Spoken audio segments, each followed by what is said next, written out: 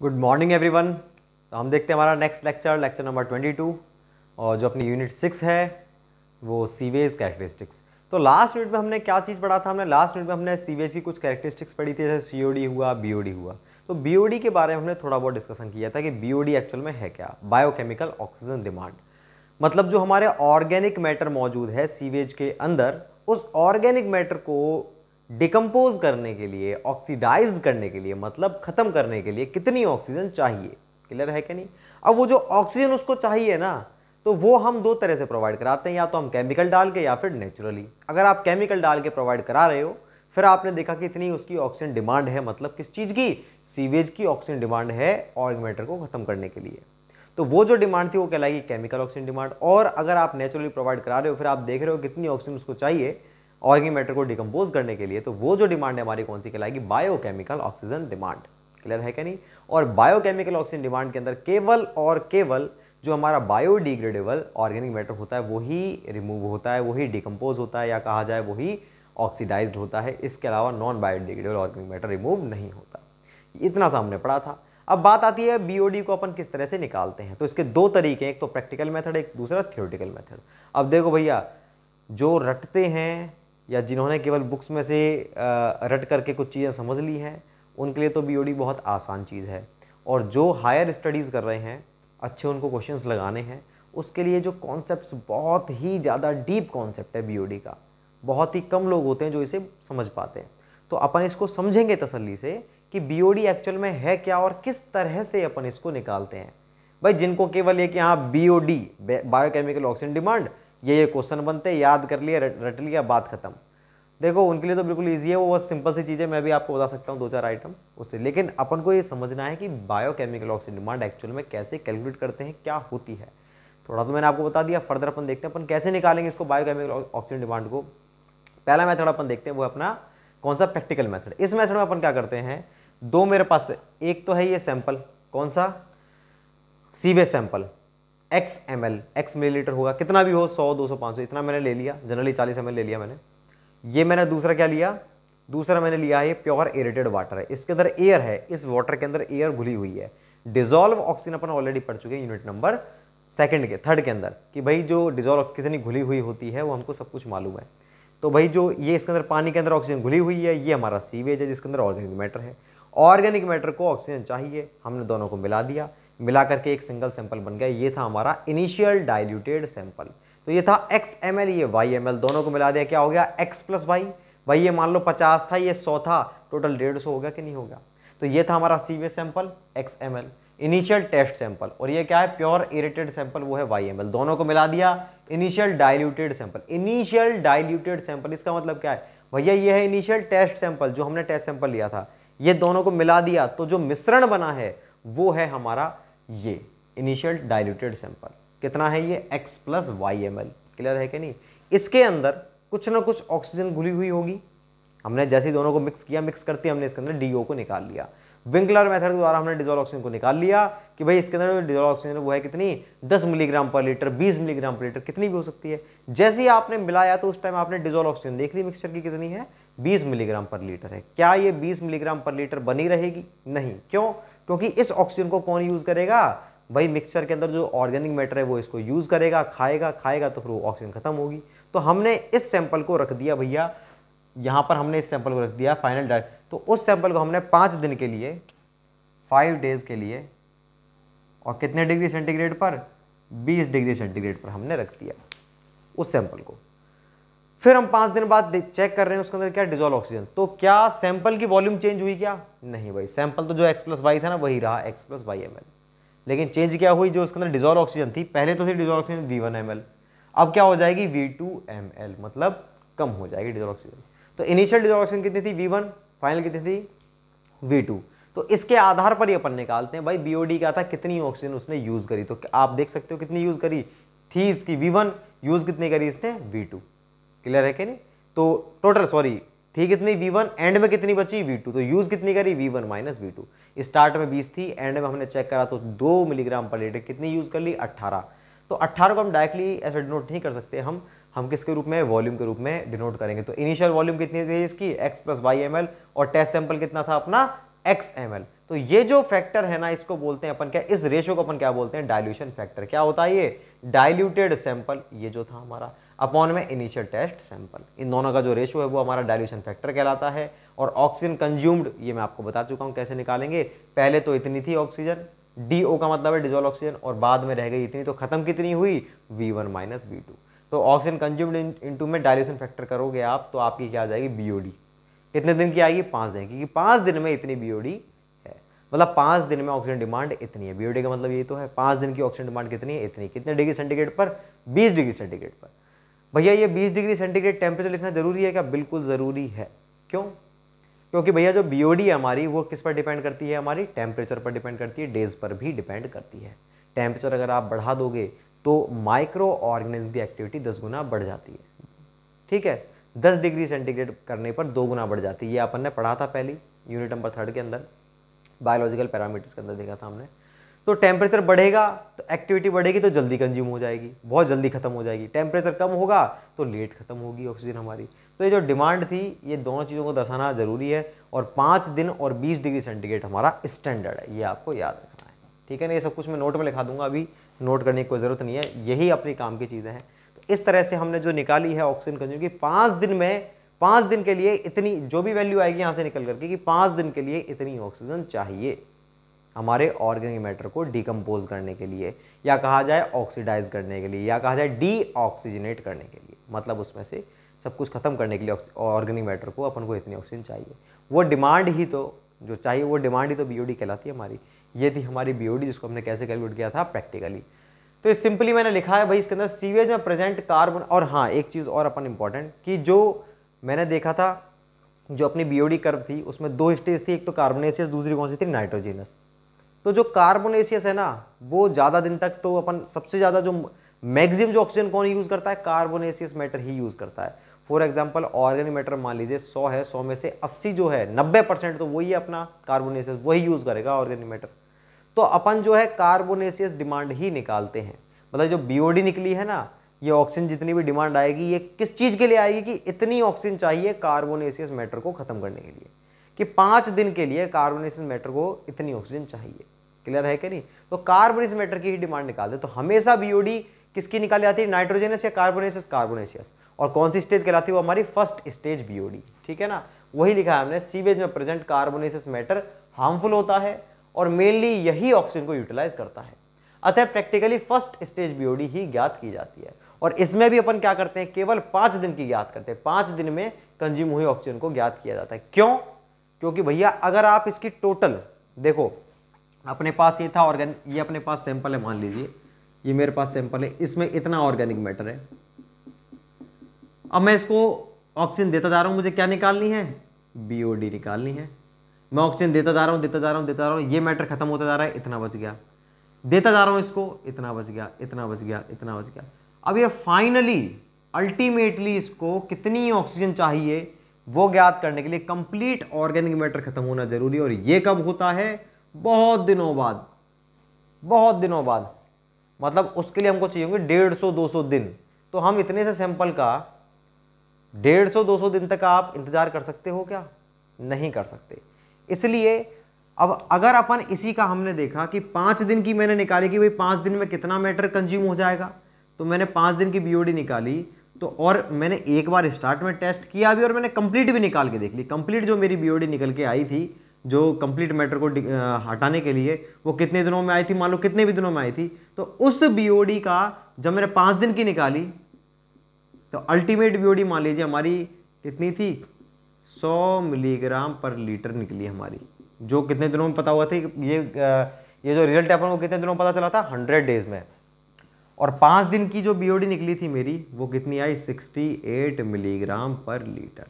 इसका मतलब क्या है? इसका मोटा मोटा मतलब ये है कि पाँच दिन की जो हमारी बीओडी है, वो अल्टीमेट बीओडी का कितना परसेंट दर्शाती? है सिक्सटी एट परसेंट दर्शाती है। तो मैं पाँच दिन की निकालूँगा ना, मैं क्यों इतने दिन इंतज़ार करूँगा? क्लियर है क्या नहीं? इसलिए केवल बीओडी भी कितने दिनों की ज्ञात की जाती है? केवल पाँच दिन की, क्योंकि वो 68 परसेंट होती है और अल्टीमेट बीओडी ज्ञात करने के लिए बहुत ज़्यादा दिनों की आवश्यकता होती है। इसलिए अपन उसको नहीं निकालते हैं प्रैक्टिकली क्लियर है क्या नहीं? तो दो चीज़ आपको याद रखनी है कि बीओडी जो है किसकी निकालते हैं अपन? कार्बोनेसिस मैटर की। कितने दिन की? पाँच दिन की। क्लियर है कि नहीं? ये देखिए भाई, ये अपना इनिशियल टेस्ट सैंपल है, ये अपना प्योर रेटेड सैंपल है, और ये अपना इनिशियल डायल्यूटेड सैंपल है। फाइव डेज़ के लिए किया और कितने डिग्री पर? बीस डिग्री सेंटीग्रेड पर फाइनल डायल्यूटेड सैंपल निकला। इस तरह से अपन निकालेंगे ऑक्सीजन कंज्यूम्ड इनटू में डायल्यूशन फैक्टर ये लिखा हुआ है क्योंकि यह अल्टीमेट या फाइनल बीओडी का 68 परसेंट होती है और अल्टीमेट बीओडी ज्ञात करने के लिए काफ़ी समय की आवश्यकता होती है। इस पाँच दिन की बीओडी को पाँच डिग्री सॉरी इस पाँच दिन की बीओडी को 20 डिग्री सेंटीग्रेड पर ज्ञात किया जाता है। क्लियर है कि नहीं? इस तरह से अपन प्रैक्टिकली निकालते हैं। अगर मैं बात करता हूँ थियोरिटिकली की तो थियोरिटिकली को समझना थोड़ा सा कठिन है। ठीक? इस पर देखो भैया क्वेश्चन भी आते हैं। कैसे आएँगे, मैं करवा भी दूँगा एक दो क्वेश्चन आपको। थियोरिटिकल बीओडी की बात अगर अपन करते हैं तो थियोरिटिकल बीओडी क्या होती है? देखो तसली समझना इस चीज़ को कि हमारे पास कोई, मान लीजिए, ये मेरे पास टेस्ट सैंपल है, ठीक? ये टेस्ट सैंपल इसमें इतना सीवेज भरा हुआ है, इतना ऑर्गेनिक मैटर है, मान लीजिए। इतने ऑर्गेनिक मैटर को डिकम्पोज करने के लिए अपन को क्या चाहिए? ऑक्सीजन तो हमारी जो अप्रोच थी, वो क्या बताती है? हमने इसके अंदर ऑक्सीजन देते गए और हम इसके अंदर जो मैटर बच रहा था, वो हम दोनों चीज़ों को ज्ञात करते हैं हमने इतनी ऑक्सीजन दे दी, इतने दिन के लिए और इसके अंदर मैटर इतना बच रहा है। उससे हमारी क्या चीज़ आई? बीओडी की दर मतलब कितनी ऑक्सीजन चाहिए उसकी रेट कि एक दिन में 500 मिलीग्राम मतलब 500 मिलीग्राम पर डे जो भी उसकी रेट आएगी। तो मैंने क्या किया? इससे मैंने ऑब्ज़र्व क्या किया? इस तरह का ग्राफ बना। इस ग्राफ से मैंने क्या ऑब्ज़र्व किया कि टी समय बाद टी समय कुछ भी हो सकता है, एक दिन, दो दिन, एक घंटे, दो घंटे। टी समय बाद जितना इसमें ऑर्गेनिक मैटर प्रेजेंट है बीओडी की रेट उसी पर निर्भर करती है डायरेक्टली नहीं समझे अभी आप? कि बीओडी की जो रेट है मतलब ऑक्सीजन की जो डिमांड है ना, उसकी जो दर है मतलब किस दर से ऑक्सीजन भेजनी है अपन को? बहुत जल्दी भेजनी, बहुत तेज़ी से भेजनी है, दस मिलीग्राम पर लीटर बीस मिलीग्राम या फिर कम है उसकी रेट तो जो दर है ना, ऑक्सीजन की दर जो अपन भेज रहे हैं, वो किसके प्रोपोर्शनल है? जितना इसमें ऑर्गेनिक मैटर प्रेजेंट है टी समय बाद।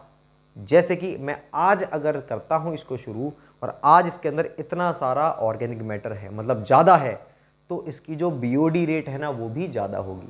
ये मैंने आज से शुरू किया था।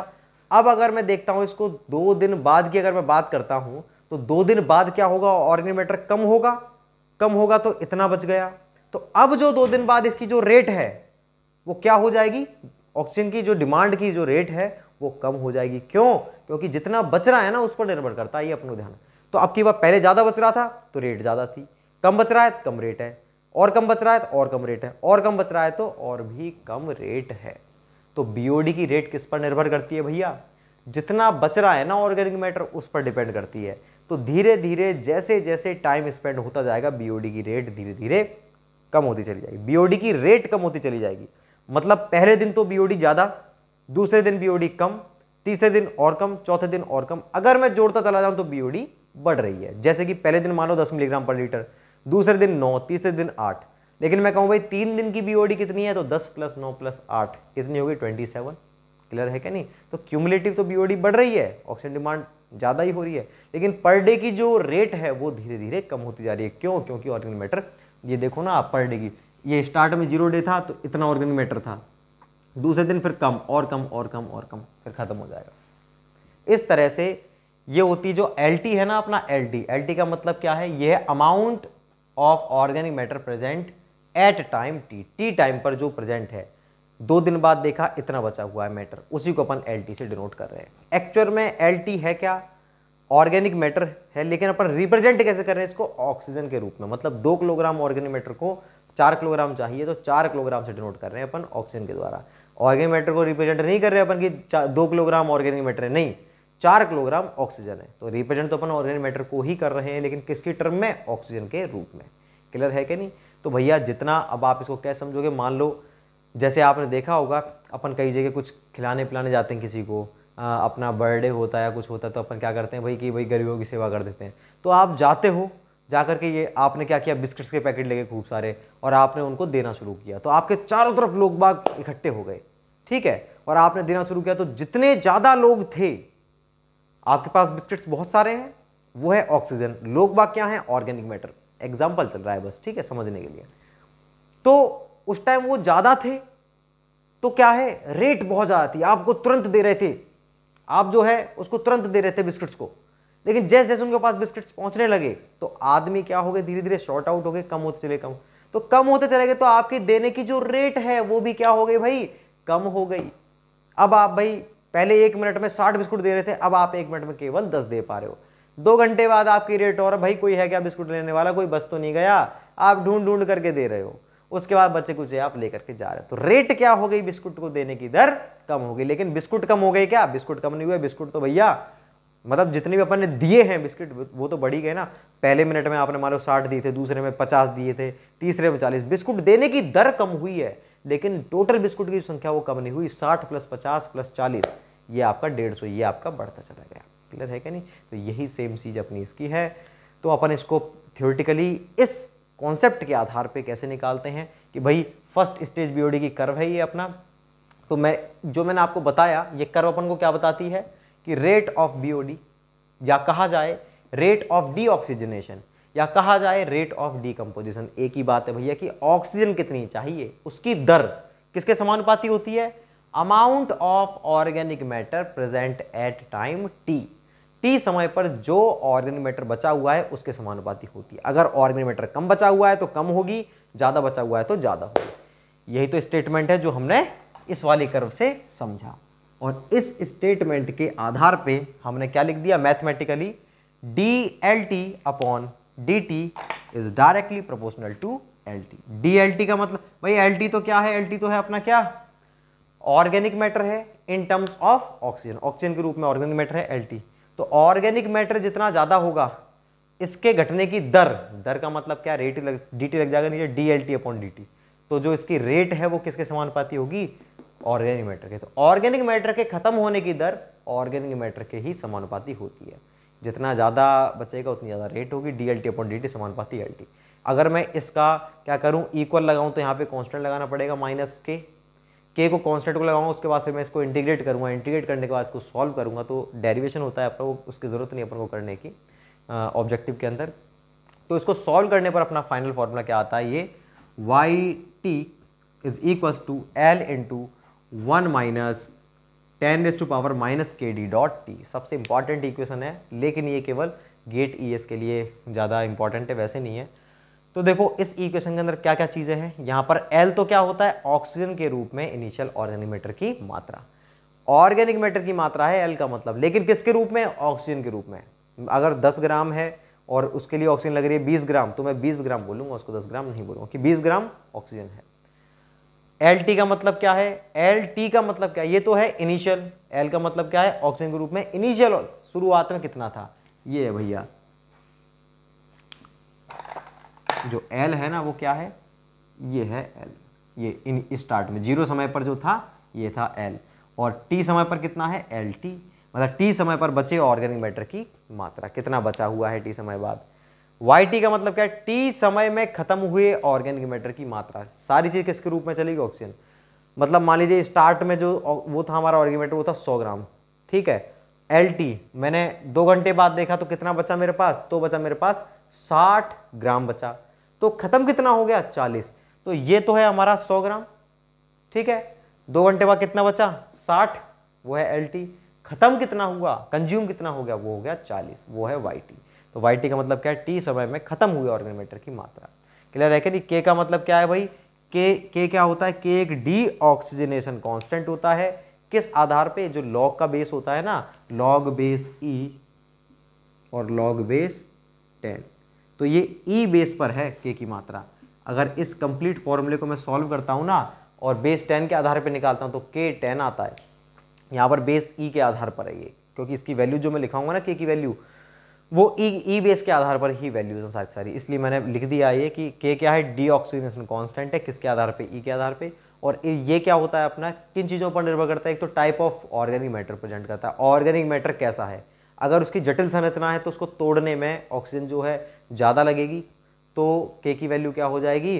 ज़्यादा हो जाएगी। और अगर इसकी संरचना सरल है तो जो के की वैल्यू है, संरचना पर डिपेंड करती है कि संरचना जो है हमारे ऑरिमेटर की कैसी जटिल है सेल्यूलोज का बना हुआ है ग्लूकोज का, किस चीज़ का है, या फिर क्या है सिंपल है। उस पर डिपेंड करता है टेम्परेचर पर भी डिपेंड करता है टेम्परेचर बढ़ेगा तो क्या होगा, वो सब कुछ अपन देखेंगे। तो के की वैल्यू इन दोनों चीज़ों पर निर्भर करती है। टाइप पर भी निर्भर करती है और टेम्परेचर पर भी। उसको मैं उतार दूँगा अभी यहाँ पे। साथ में इससे रिलेटेड और भी जो पॉइंट है बीओडी के वो उतार देता हूँ। उसके बाद फिर अपन एक दो क्वेश्चन करते हैं। तो ये अपना कंप्लीट बीओडी का कॉन्सेप्ट था कि बीओडी है क्या एक्चुअल में। कि ये बायोकेमिकल ऑक्सीजन डिमांड होती है तो अपन कैसे निकालते हैं ये फॉर्मूला कैसे डेवलप हुआ? कि जो जितना मैटर अपना आ, लगे जितना बचा हुआ है टी समय बाद उतनी ही उसकी रेट होती है। जितना ज़्यादा बचा हुआ उतनी ज़्यादा रेट होगी। इस तरह से अपन निकालते हैं। आप फ़िलहाल इसको उतारो फिर मैं इसके के की वैल्यूज़ को लिखता हूँ फिर आगे और डिस्कस करते हैं।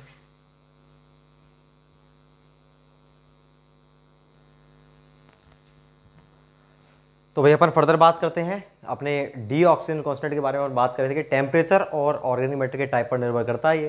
तो टेम्परेचर अगर आप बढ़ाओगे तो के की वैल्यू बढ़ जाएगी। भैया टेम्परेचर बढ़ाओगे तो जो ऑक्सीजन है उसको लेने की रेट बढ़ जाएगी क्योंकि ऑर्गेनिक मैटर जल्दी जल्दी खत्म होगा तो के की वैल्यू ऑटोमेटिकली इंक्रीज होगी। क्योंकि के क्या है? कॉन्स्टेंट है, इसके भाई के का बढ़ना बीओडी की रेट का बढ़ना एक ही बात है, ठीक है ना? क्योंकि उसकी प्रपोजलिटी को यही कांस्टेंट हटा रहा है। तो टेम्परेचर बढ़ेगा तो के की वैल्यू बढ़ेगी टेम्परेचर घटेगा के की वैल्यू घटेगी। अगर ऑर्गेमीटर हमारा सिंपल है तो जल्दी उसको तोड़ देगा ऑक्सीजन जल्दी जल्दी कंज्यूम करेगा। और अगर कॉम्प्लेक्स है, जटिल है तो उसको ईजिली से नहीं तोड़ सकता तो के की रेट घट जाएगी। तो के की रेट कब बढ़ेगी? जब वो सिंपल होगा। और सिंपल कौन से? जैसे अपना ग्लूकोज हुआ सेल्यूलोज हुआ, ये सब सिंपल है शुगर हुआ, ठीक है ना? तो जैसे टेम्परेचर घटने पर के बढ़ता है वे टेम्परेचर बढ़ने पर के बढ़ता है। ये घटने पर घटता लिखेंगे सॉरी घटने पर घटता है, बढ़ने पर बढ़ता है। सिंपल ऑर्गेनमेटर प्रेजेंट होने पर के की रेट इंक्रीज होती है और कॉम्प्लेक्स कॉम्प्लेक्स जैसे फिनॉल और सिंपल ऑर्गेनमेटर अगर मैं आपको बताऊँ तो सिंपल कौन सा होता है जैसे अपने? शुगर हुआ ग्लूकोज ये होते हैं सिंपल ठीक है ना? के को अपन किस पर ज्ञात करते हैं? जनरली 20 डिग्री सेंटीग्रेड पर ही ज्ञात किया जाता है, क्योंकि 20 डिग्री सेंटीग्रेड पर ही अपन बी निकालते हैं। लेकिन अगर आप के को, भाई के बोलो, चाहे के बोलो, एक ही बात है डी ऑक्सीजनेशन कॉन्स्टेंट ठीक है ना? तो अगर आप इसको 20 डिग्री के अलावा किसी और टेम्परेचर पर ज्ञात करना चाहते हो ना तो आप कैसे ज्ञात करोगे? इस फॉर्मूले के द्वारा। के डी टी डिग्री सेंटीग्रेड मतलब आप 27 पर निकालना चाह रहे हो तो के डी सत्ताईस आ जाएगा। क्या होगा? बराबर K D twenty degree centigrade twenty degree centigrade की जो वैल्यू फिक्स रहती है हमारी। इंटू में one point zero four seven की whole power T minus twenty यहाँ पर टी क्या है? टेम्परेचर आप सत्ताईस पर निकाल रहे हो, सत्ताईस माइनस बीस मतलब पावर कितनी आ जाएगी? सात. तो के डी ट्वेंटी की वैल्यू पुट करो into one point zero four seven की होल पावर सेवन कर दोगे तो जो भी वैल्यू आएगी वो K D twenty degree twenty seven degree centigrade की वैल्यू आएगी. इस तरह से अपन निकालते हैं। ये फॉर्मूला आपसे पूछ सकता है के डी किसी अन्य टेम्परेचर पर के डी के डी को ज्ञात करने के लिए अपन कैसे ज्ञात करेंगे? इस तरह से ज्ञात करेंगे। और मैंने जो इसके जितने भी इंपॉर्टेंट नोट हैं, सारे के सारे मैंने उतार दिए हैं। ये सारे नोट आप अच्छे से याद कर लेना, इन पर क्वेश्चन बनता है और आपको मिलेगा भी। इन सबको आप अच्छे से याद कर लेना। ठीक है ना? क्वेश्चन अपना जो नोट नंबर बने, वो क्या है? के डी ट्वेंटी डिग्री सेंटीग्रेड की जो वैल्यू होती है, लगभग कितनी होती है? ज़ीरो पॉइंट ज़ीरो पाँच से ज़ीरो पॉइंट बीस पर डे इसकी जो यूनिट होती है ना, वो क्या होती है अपनी? पर डे होती है। क्लियर है भाई? और अदर अगर आपसे पानी के बारे में पूछ रहा है स्पेशली कि टैप वाटर के लिए इसकी वैल्यू कितनी होती है म्यूनिसिपल सीवेज के लिए कितनी होती है सरफेस वाटर के लिए कितनी होती है फिर ट्रीटेड सीवेज इफ्लुएंट सीवेज को ट्रीट करने के बाद में जो बचा हुआ पानी है, उसके लिए कितनी होगी? तो टैप वाटर के लिए सबसे कम होगी क्योंकि उसके अंदर ऑर्गेनिक मैटर उतना ही कम होगा तो कम ऑक्सीजन कंज्यूम होगी, इसलिए उसकी वैल्यू कम होगी। म्यूनिसिपल सीवेज में सबसे ज़्यादा होगी, उसके अंदर ऑर्गेनिक मैटर ज़्यादा होता है। तो आपको इसके अंदर जो इंपॉर्टेंट है ना टैप वाटर की है एक तो और एक म्यूनिसिपल की। कितनी होती है? Less than zero point zero पाँच पर डे ये होती है ज़ीरो पॉइंट ज़ीरो पाँच से ज़ीरो पॉइंट दस पर डे ज़ीरो पॉइंट दस से ज़ीरो पॉइंट पंद्रह पर डे ये वाला नोट इतना इंपॉर्टेंट नहीं है सेकंड पहला वाला इंपॉर्टेंट था. तीसरा, ये सारे इंपॉर्टेंट है. बीओडी 520 डिग्री सेंटीग्रेड कैसे पढ़ेंगे? पाँच दिन की बीओडी है 20 डिग्री सेंटीग्रेड पर. कितनी होती है? अड़सठ परसेंट होती है बीओडी अल्टीमेट जो अल्टीमेट या फाइनल अल्टीमेट का मतलब क्या? साइड में लिख देता हूँ मैं. अल्टीमेट का मतलब है भैया फाइनल जो फाइनल बीओडी है टोटल कितनी ऑक्सीजन चाहिए? उसको बोलते हैं अल्टीमेट बीओडी उसका कितना परसेंट होती है? पाँच दिन की, अड़सठ परसेंट। और दस दिन की? B O D ten. दस दिन की बी ओ डी अल्टीमेट का कितना होती है? नब्बे परसेंट। ठीक है ना? और बी ओ डी फाइव जो है twenty degree centigrade of drinking water पीने वाले पानी की बी ओ डी फाइव कितनी होनी चाहिए? कुछ भी नहीं होनी चाहिए भैया। ज़ीरो क्यों? आप चाहोगे क्या कि पानी में वो माइक्रो ऑर्गेनिज ऑर्गेनिमेटर आए? बिल्कुल नहीं। आप बिल्कुल माइक्रो ऑर्गेनिज ऑर्गेनिमेटर को अलाउ नहीं कर सकते। इसलिए उसकी बीओडी क्या होनी चाहिए? ज़ीरो बीओडी है, इसका मतलब ऑर्गेनिक मैटर है। ऑर्गेनिक मैटर है, इसका मतलब माइक्रो ऑर्गेनिज्म है।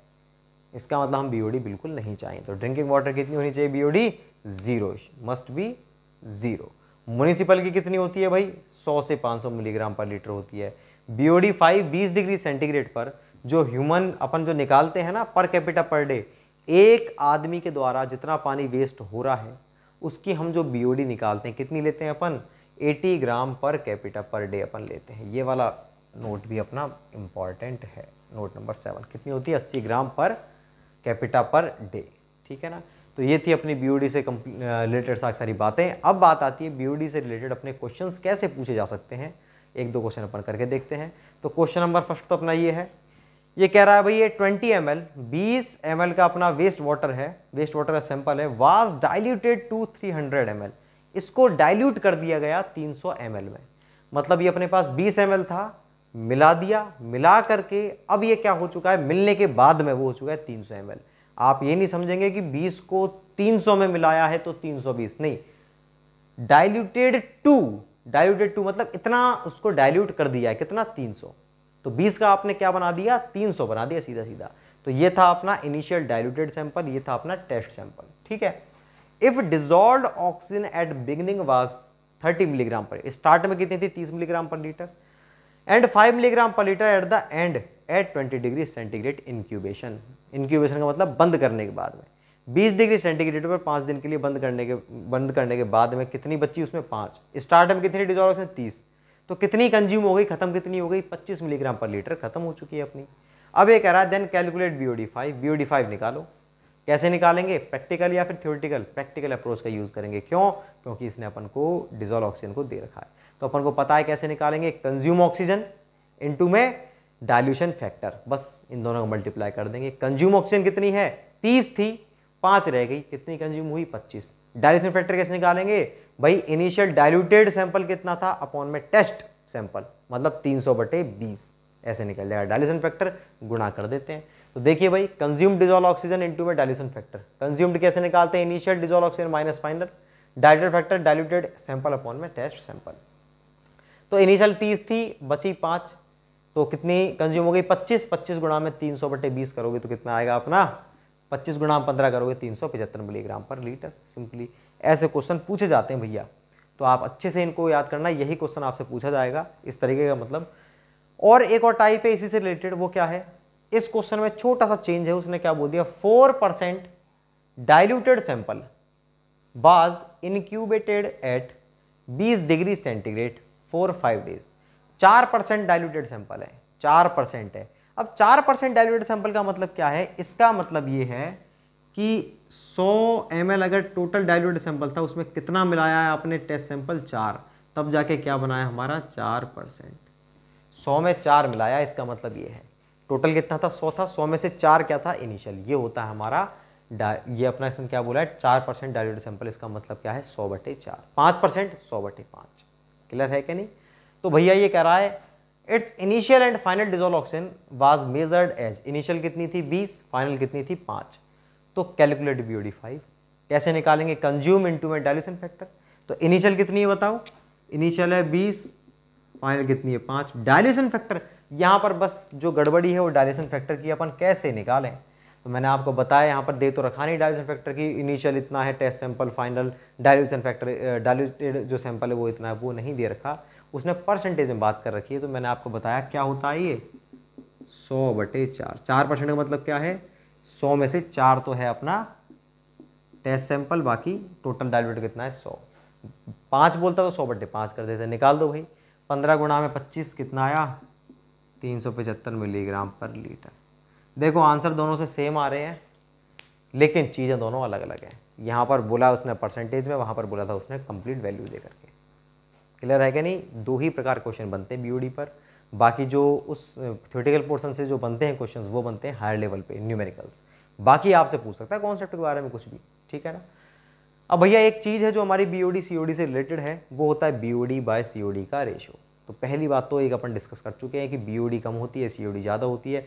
TOD उससे भी ज़्यादा होती है और चाहे तो आप एक काम कीजिए, इसको आप यहीं पर लिख देना नोट के रूप में। इसके नीचे लिख देना, है ना? मेरे पास तो स्पेस नहीं है। T O D is greater than C O D is greater than B O D इसके नीचे लिख देना नोट के रूप में, है ना?